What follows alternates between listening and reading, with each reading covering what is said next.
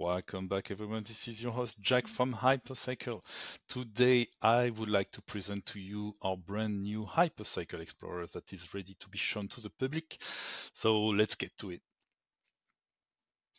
All right, so here is the main page of the Hypercycle Explorer. As you can see, we are using the same color codes and design that we have on the DApp, so it should look familiar to you. Um, you can see that all the blocks have been reporting and I can track down all the blocks down to the first Genesis blocks if I want to. Uh, I just click on the last page and I can see that the block height number one is reporting the first uh, Genesis blocks that was emitted two years ago. And we are now at uh, block uh, 574812 and live and running. So this is cool. You can also notice that the blocks are reporting on a hourly basis at the moment because we have chosen to go with a consolidated view of uh, the data of the network because there are so many data that we, we have to retrieve at, at every block that we wanted to be sure to fetch uh, everything properly. And our goal is to basically increase the granularity of the um, of the Explorer as we go, as we add and implement more data, such as um, the node scores that uh, we are planning uh, on uh, adding to the to the Explorer very soon. Uh, so you will be able to click on your license and also see how far how, how close you are to generate uh, the first unlocking event for, for your license, meaning how far you are to creating new child nodes are originating from your original uh, you know node. Granted uh, you have been tilling uh, of course. So you can see for example I, am tracking down this license. Uh, it says it's on mainnet. Uh, I can also track uh, licenses on testnet for example. But let's skip the demonstration on mainnet. You can see the amount of um, um, uptime, downtime, total uptime expressed in hours you can see, for example, this uh, license has been emitted on Cardano. Uh, so you can guess that this one one of the original licenses that were uh, distributed and sold by Hypercycle back in the days. Uh, this license is still live. As you can see, um, we can track down how, how long it's been live and not live due to some hiccups in the in the uptime. This is part of the of the of the game, of course. So that means that whenever you have a license and you want to check how it's uh, behaving on the network, you can also go to this Explorer and you can see in this drop down little card here, you can select licenses and then you can enter your license ID and you will see what's happening on it.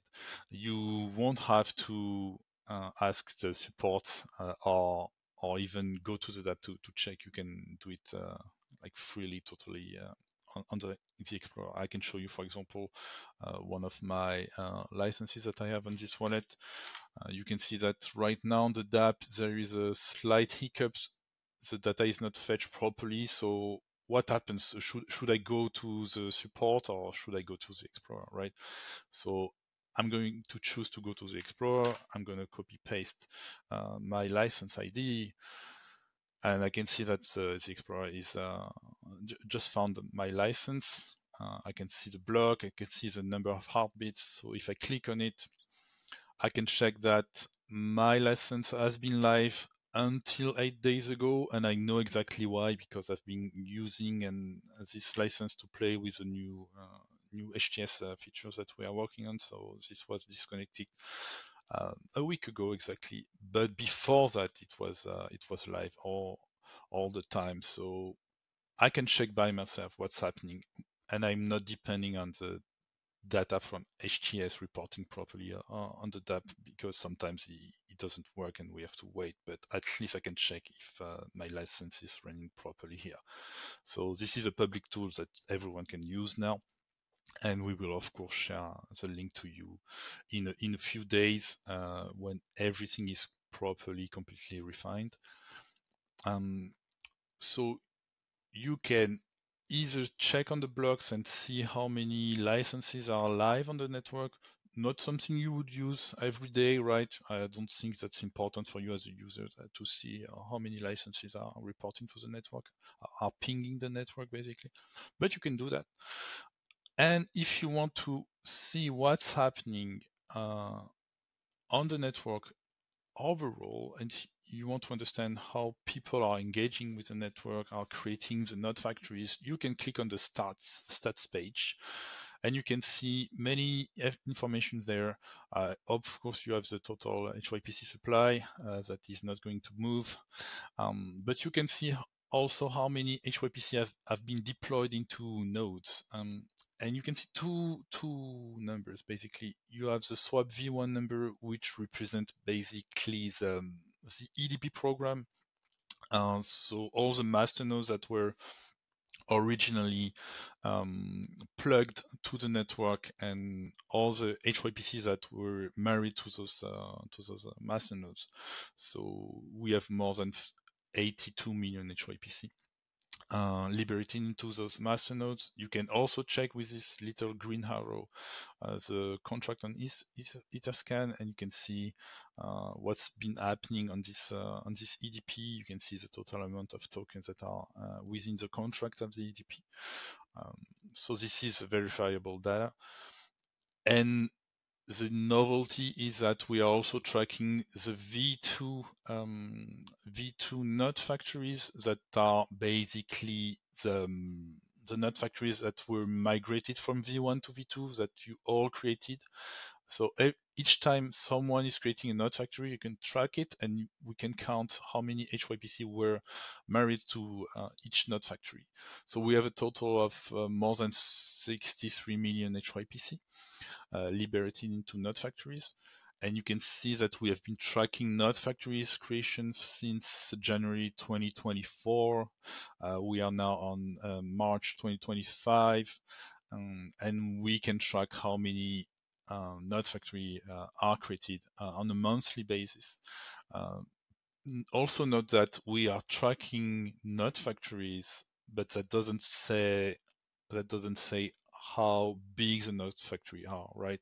So you can see that 63 million for more than 4,000 node factories is a good score uh, on average because it means that people are, are creating big node factories and, and not only just uh, level 10 node factories. Otherwise, uh, the number would be uh, far lower than that. So that's a total of almost uh, 150 million HYPC deployed in node factories, and we want to, to have this uh, number uh, go up, obviously. So thanks again for your support in, in, uh, in creating all those node factories, uh, and we are here to help you create more.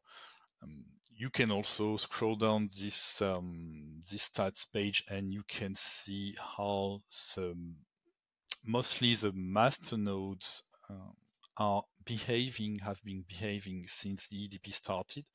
Um, the average um, starting date of the EDP is one year, one year and five months, uh, and 20, 21 to 22 days.